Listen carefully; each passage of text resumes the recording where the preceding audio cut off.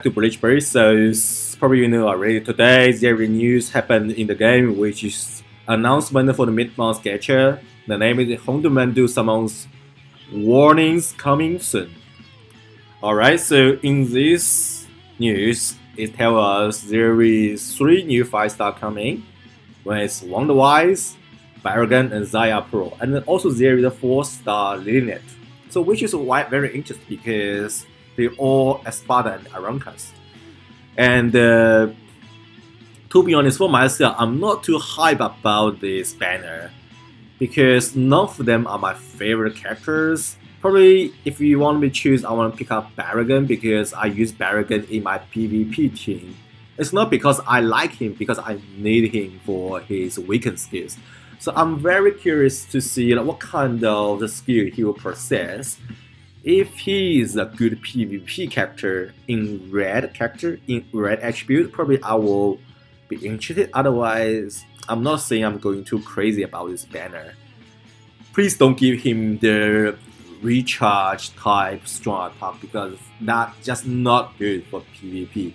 Nowadays, I'm more care about character can do decent damage in PvP rather than PvE because we have so many great characters for PvE already. And uh, but uh, the bad news is this banner only available on 16th of September, which is literally this Saturday. And uh, this Saturday I'll be out for a whole day, so I won't be at home. And so at 7 o'clock Australian time, I won't be at home, so I'm not able to do any first-hand summon. So that kind of sucks. Why KM can't just do it on the dot of mid month, which is 15th of September, has why has to be 16th and at 7 at 5 o'clock in the afternoon. But anyway, there's a little bit of news which is coming to the game. Let me know if you hype about this banner and uh, let me know who is your favorite character in this banner. However, that's not all of the video today. If you watch my past video, you probably know I have tried a couple of times for the Kaname quest of solo boss rush and all failed. So today is round 3 challenge for Kaname.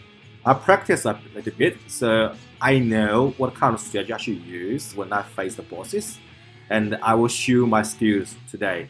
And somehow if I lose, I'm going to do one multi for the premium summon. So that's the rule for today let's get started. I'll go into the red attribute, but because we can take the attribute advantage. No alliance, and go, Kaname. Go, go, go, go, go. While we finish all three bosses this time, no worries.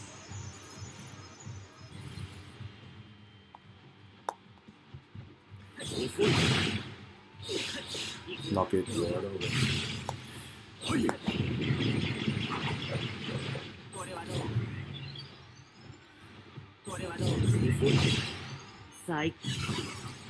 Dodge the special.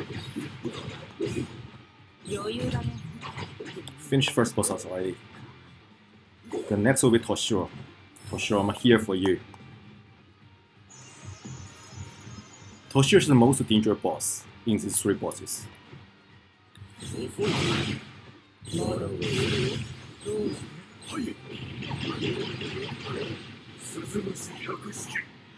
Use my special finish him.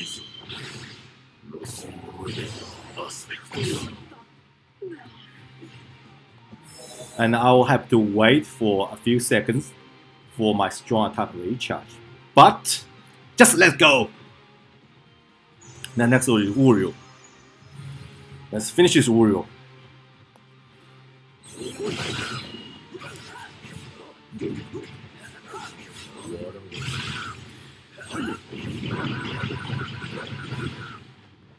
I know you can do this, but let's take the stamina.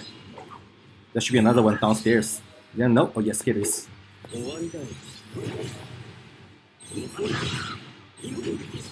Finish the boss rush already.